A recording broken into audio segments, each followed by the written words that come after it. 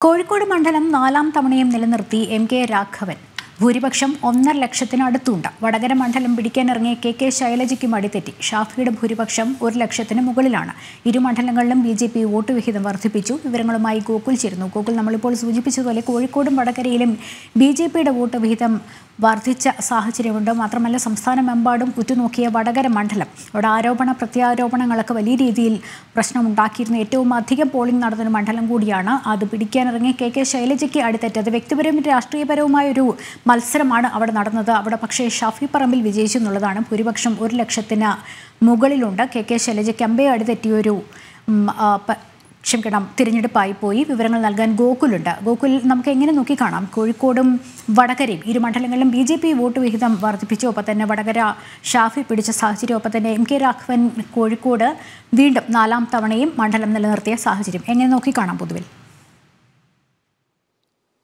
കോഴിക്കോട് മണ്ഡലത്തിൽ എങ്ങനെയും ഈ വടകര മണ്ഡലം ക്ഷമിക്കണം കോഴിക്കോട് മണ്ഡലം എം കെ രാഘവനിൽ നിന്ന് തിരിച്ചു പിടിക്കുക എന്ന ഉദ്ദേശത്തോടു കൂടിയിട്ടായിരുന്നു ഇളമരം കരീമിനെ സമുന്നതനായ ഉന്നതനായ നേതാവ് നേതാവിനെ രാജ്യസഭ എം പി ആയിട്ടുള്ള രാജ്യസഭാ പ്രവർത്തനങ്ങൾ ഒരുപാട് പാരമ്പര്യമുള്ള ഇളമരം കരീമിനെ മന്ത്രിയൊക്കെ ആയിട്ടുള്ള ഇളമരം കരീമിനെ കോഴിക്കോട് മണ്ഡലത്തിൽ അവർ രംഗത്തിറക്കിയിട്ടുള്ളത്. എന്നാൽ കോഴിക്കോട് മണ്ഡലത്തിൽ ഇന്ന് പുറത്തു വരുന്ന പുറത്തു വന്ന ഫലങ്ങൾ പരിശോധിക്കുന്ന സമയത്ത് കഴിഞ്ഞ തവണ എൽ ഡി എഫിന് കോഴിക്കോട് മണ്ഡലത്തിൽ കിട്ടിയതിനേക്കാൾ മുപ്പത്തി മൂവായിരത്തോളം വോട്ട് കുറവാണ് ഇപ്രാവശ്യം കിട്ടിയിട്ടുള്ളത് കിട്ടിയിട്ടുള്ളത് എന്നാണ് പ്രധാനപ്പെട്ട വസ്തുത. അതേസമയം തന്നെ എം കെ രാഘവന്റെ ഭൂരിപക്ഷം ഏകദേശം ഒന്നര ലക്ഷത്തിലേക്ക് അടുക്കുകയും ചെയ്തു. കഴിഞ്ഞ പ്രാവശ്യം എൺപതിനായിരത്തോളം വോട്ടുകൾക്കായിരുന്നു എം കെ രാഘവൻ ലഭിച്ച വിജയിച്ചതെങ്കിൽ ഇത്തവണ അത് ഒന്നര ലക്ഷത്തിലേക്ക് അടുത്തിട്ടുണ്ട് എന്നുള്ളതാണ് പ്രധാനപ്പെട്ട ഒരു കാര്യം. എം കെ രാഘവൻ നാലാമത്തെ തവണയാണ് കോഴിക്കോട് മണ്ഡലത്തിൽ നിന്ന് വിജയിച്ചു കയറുന്നത്. മൂന്ന് തവണയായി മൂന്ന് തവണയായിട്ട് ഘട്ടം ഘട്ടമായി വോട്ട് വർദ്ധിപ്പിക്കുന്ന ഒരു സാഹചര്യമായിരുന്നു ഉണ്ടായിരുന്നത്. ആദ്യഘട്ടത്തിൽ എണ്ണൂറിൽ എണ്ണൂറിലധികം വോട്ടുകൾക്ക് മാത്രം വിജയിച്ചിരുന്ന എം കെ രാഘവൻ പിന്നീട് അത് പതിനഞ്ചായിരമായി ഉയർത്തി കഴിഞ്ഞ തവണ എൺപതിനായിരത്തിലേക്ക് ഉയർത്തി. ഇപ്പോഴത് ഒന്നര ലക്ഷത്തിലേക്ക് അടുപ്പിക്കുന്നു എന്നുള്ളതാണ് പ്രധാനപ്പെട്ട കാര്യം. ഈ മുസ്ലിം വോട്ട് ബാങ്ക് ലക്ഷ്യമിട്ടുകൊണ്ടുള്ള പ്രചാരണങ്ങളായിരുന്നു എൽ ഡി എഫ് ആദ്യഘട്ടം തന്നെ കോഴിക്കോട് മണ്ഡലത്തിൽ നടത്തിയിട്ടുണ്ടായിരുന്നത്. അതിനെ തിരിച്ചറിഞ്ഞുകൊണ്ട് മറു പ്രചരണം നടത്താൻ യു ഡി എഫിന് സാധിച്ചു എന്നുള്ളതാണ് അവർ ഇത്തരത്തിൽ വലിയ രീതിയിലേക്ക് വിജയത്തിലേക്ക് എത്തിക്കാൻ സാധിച്ചത്. മാത്രമല്ല എൽ ഡി എഫിന്റെ ഈ ധ്രുവീകരണ രാഷ്ട്രീയത്തെ കോഴിക്കോട് മണ്ഡലത്തിലെ വോട്ടർമാർ തിരിച്ചറിഞ്ഞു എന്ന് വേണം മനസ്സിലാക്കാൻ ആ രീതിയിലുള്ള ഒരു പ്രതികരണമാണ് ബി ജെ പി സംസ്ഥാന general secretary M T Ramesh നടത്തിയത്. മുസ്ലിം വോട്ട് ബാങ്ക് ലക്ഷ്യം വെച്ചുകൊണ്ടുള്ള ഒരു പ്രവർത്തനം എൽ ഡി എഫിന്റെ നേതൃത്വത്തിന്റെ ഭാഗത്ത് നിന്ന് കോഴിക്കോട് മണ്ഡലത്തിൽ ഉണ്ടായി അതിനുള്ള ഒരു സ്വാഭാവികമായിട്ടുള്ള പ്രതികരണമാണ് കോഴിക്കോട് മണ്ഡലത്തിൽ ഉണ്ടായത് അത് യു ഡി എഫിനാണ് ഗുണം ചെയ്തത് എന്നൊരു മറുപടിയായിരുന്നു എം ടി രമേശ് നേരത്തെ ജനം ടി വിയോട് പ്രതികരിച്ച സമയത്ത് പറഞ്ഞിട്ടുണ്ടായിരുന്നത്. അതേ സാഹചര്യത്തിൽ തന്നെ എം ടി രമേശ് കോഴിക്കോട് മണ്ഡലത്തിൽ എൻ ഡി എ സ്ഥാനാർത്ഥിയായിട്ടുള്ള ബി ജെ പിയുടെ സംസ്ഥാന ജനറൽ സെക്രട്ടറി ആയിട്ടുള്ള എം ടി രമേശ് തന്റെ വോട്ട് വിഹിതം ഇരുപതിനായിരത്തോളം വോട്ടുകൾ വർദ്ധിപ്പിച്ചിട്ടുണ്ട്. കഴിഞ്ഞ തവണ ഒരു ലക്ഷത്തി അറുപത്തിരണ്ടായിരത്തോളം വോട്ടുകളായിരുന്നു എൻ ഡി എ സ്ഥാനാർത്ഥിയായ പ്രകാശ് ബാബുവിന് രണ്ടായിരത്തി പത്തൊൻപതിൽ ലഭിച്ചതെങ്കിൽ ഇത്തവണ അത് ഒരു ലക്ഷത്തി എൺപതിനായിരത്തിലേക്ക് എത്തിക്കാൻ വേണ്ടി ബി ജെ പിക്ക് കഴിഞ്ഞിട്ടുണ്ട് എന്നുള്ളതാണ് പ്രധാനപ്പെട്ട വസ്തുത. എല്ലാ മണ്ഡലങ്ങളിലും കേരളത്തിലെ സർവ മണ്ഡലങ്ങളിലും ബി ജെ പി തങ്ങളുടെ വോട്ട് ഷെയർ വർദ്ധിപ്പിക്കുന്നതിന് ആനുപാതികമായിട്ടുള്ള ഒരു വർധനവ് കോഴിക്കോട് മണ്ഡലത്തിലും ബി ജെ പിക്ക് കാഴ്ചവെക്കാൻ പറ്റി എന്നൊരു പറ്റി എന്നത് നേട്ടമായിട്ട് തന്നെ ബി ജെ പി നേതൃത്വം വിലയിരുത്തുന്നുണ്ട്. എന്നാൽ കോഴിക്കോട് മണ്ഡലത്തിന്റെ എൽ ഡി എഫിന്റെ ചരിത്രം പരിശോധിക്കുകയാണെങ്കിൽ കഴിഞ്ഞ മൂന്ന് തവണ എൽ ഡി എഫ് സ്ഥാനാർത്ഥികൾ എം കെ രാഘവനോട് പരാജയപ്പെട്ടിരുന്നുവെങ്കിലും മൂന്ന് തവണയും എൽ ഡി എഫ് സ്ഥാനാർത്ഥികൾ വോട്ട് വർദ്ധിപ്പിക്കുന്നതായിട്ടാണ് കാണാൻ വേണ്ടി സാധിച്ചത്. കഴിഞ്ഞ തവണ മത്സരിച്ച പ്രദീപ് കുമാർ അദ്ദേഹം അദ്ദേഹം അദ്ദേഹം ഉൾപ്പെടെയുള്ള ആളുകൾ വോട്ട് വിഹിതം വർദ്ധിപ്പിക്കുകയായിരുന്നു. മുഹമ്മദ് റിയാസ് ഇവിടെ മത്സരിച്ച സമയത്തായാലും വോട്ട് വീതം വർദ്ധിപ്പിച്ചു തുടർന്ന് എ. വിജയരാഘവനായിരുന്നു. അദ്ദേഹവും വോട്ട് വീതം വർദ്ധിപ്പിച്ചു പ്രദീപ് കുമാറിന് കഴിഞ്ഞ തവണ തന്റെ വോട്ട് ഷെയർ ഗണ്യമായ വർധന വരുത്തി. എന്നാൽ പ്രദീപ് കുമാറിന് കഴിഞ്ഞ തവണ വോട്ട് പോലും ലഭിക്കാൻ ഇളമന കരീമിന് സാധിച്ചിട്ടില്ല എന്നുള്ളതാണ് എൽ ഡി എഫിനെ സംബന്ധിച്ചിടത്തോളം കോഴിക്കോട് മണ്ഡലത്തിൽ വരും ദിവസങ്ങളിൽ ചർച്ചയാവാൻ കാരണം.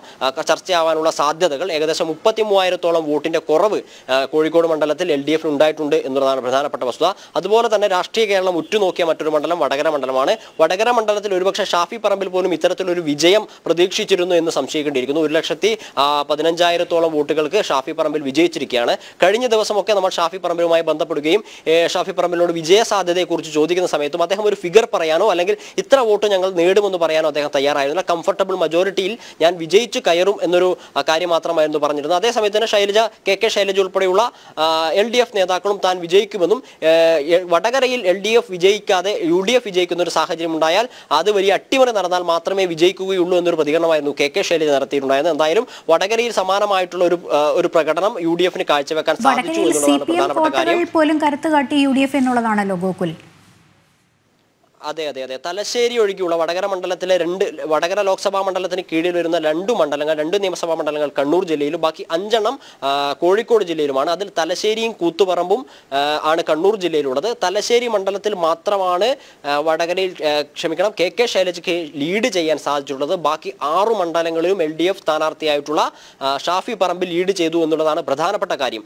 ഇതിൽ നിയമസഭാ തെരഞ്ഞെടുപ്പിന്റെ ചരിത്രം പരിശോധിക്കുകയാണെങ്കിൽ വടകര ലോക്സഭയ്ക്ക് കീഴിലുള്ള ഏഴ് നിയമസഭാ മണ്ഡലങ്ങളിൽ ആറെണ്ണവും എൽ ഡി എഫിനൊപ്പമാണ് ഷംസീർ എ സ്പീക്കറായിട്ടുള്ള ഷംസീർ ഉൾപ്പെടെയുള്ള ആളുകൾ വിജയിച്ചു വന്ന മണ്ഡലമാണ്. കെ പി മോഹനൻ മത്സരിച്ചു വന്ന മണ്ഡലം. ഇതിൽ യു ഡി എഫിനൊപ്പം നിൽക്കുന്നത് കെ കെ രമ മാത്രമാണ് വടകരയിൽ. എന്നാൽ ഈ ലോക്സഭാ തെരഞ്ഞെടുപ്പിന്റെ ചരിത്രം അല്ലെങ്കിൽ ചിത്രം പരിശോധിക്കുന്ന സമയത്ത് ഈ ഏഴ് മണ്ഡലങ്ങളിൽ ആറു മണ്ഡലവും ഷാഫി പറമ്പിലിന് അനുകൂലമായി വോട്ട് ചെയ്യുന്ന ഒരു രീതിയിലേക്ക് മാറിയിരിക്കുന്നു. തലശ്ശേരി മാത്രമാണ് കെ കെ ശൈലജയ്ക്ക് ലീഡ് ചെയ്യാൻ സാധിച്ചത് എന്നുള്ളതാണ് പ്രധാനപ്പെട്ട കാര്യം. തലശ്ശേരിയൊക്കെ സി പി എമ്മിന് വലിയ രീതിയിൽ ഭൂരിപക്ഷം നൽകി എ എൻ ഷംസീറിനെ നിയമസഭയിലേക്ക് അയച്ച മണ്ഡലമാണ്. അവിടെ ഉൾപ്പെടെ ഇടതുപക്ഷന് ഇടതുപക്ഷത്തിന് അടിതെറ്റുന്ന ഒരു ഒരു അവസ്ഥയാണ് ഈ നിയമസഭാ തെരഞ്ഞെടുപ്പിൽ ഉണ്ടായിട്ടുള്ളത് എന്നാണ് ഈ നമുക്ക് ചിത്രം തിരഞ്ഞെടുപ്പ് ചിത്രം അല്ലെങ്കിൽ റിസൾട്ടുകൾ പുറത്തു വന്ന സാഹചര്യത്തിൽ നമുക്ക് മനസ്സിലാക്കാൻ വേണ്ടി സാധിക്കുന്നത് അതേസമയത്ത് തന്നെ ഏകദിന അതേ ഏകദേശം മുപ്പതിനായിരത്തോളം വോട്ടുകൾ എൻ ഡി എ സ്ഥാനാർത്ഥിയായിട്ടുള്ള പ്രബുൽ കൃഷ്ണനെ വർദ്ധിപ്പിക്കാൻ സാധിച്ചിട്ടുണ്ട്.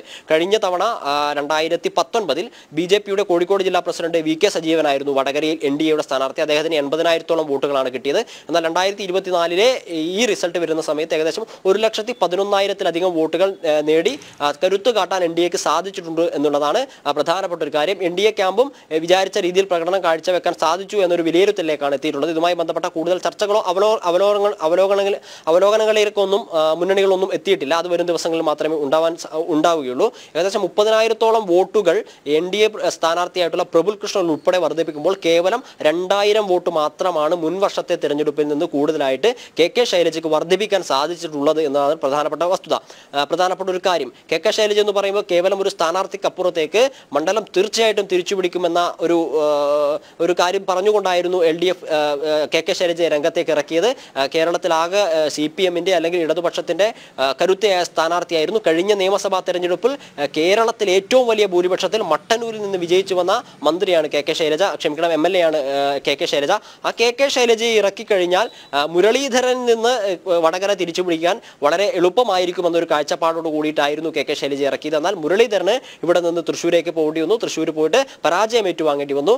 മുരളീധരന് പകരം ഇവിടെ വന്ന ഷാഫി പറമ്പിൽ കഴിഞ്ഞ തവണ മുരളീധരൻ മുരളീധരന് ലഭിച്ചതിനേക്കാൾ കൂടുതൽ ഭൂരിപക്ഷത്തോടു കൂടി കെ കെ ശൈലജയെ കെ കെ ശൈലജയെ തോൽപ്പിക്കുന്ന ഒരു സാഹചര്യമാണ് ഉണ്ടായിട്ടുള്ളത്. പ്രധാനപ്പെട്ട കാര്യം ഈ കോഴിക്കോട് വടകര മണ്ഡലങ്ങളിൽ എൽ ഡി എഫ് സ്ഥാനാർത്ഥികൾക്ക് വോട്ട് വർദ്ധിപ്പിക്കാൻ സാധിച്ചിട്ടില്ല എന്നുള്ളതാണ് പ്രധാനപ്പെട്ട കാര്യം. മാത്രമല്ല കോഴിക്കോട് മുപ്പത്തി മൂവായിരത്തോളം വോട്ടുകൾ കഴിഞ്ഞ തവണത്തേതിൽ നിന്ന് ഇളമരം കരീമിന് കുറവാണ് ലഭിച്ചത്.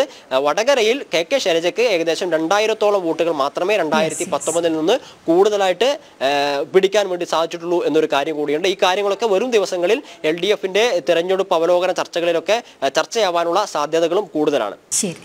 ഗോകുലാണ് വിവരങ്ങൾ നൽകിക്കൊണ്ടിരുന്നത്.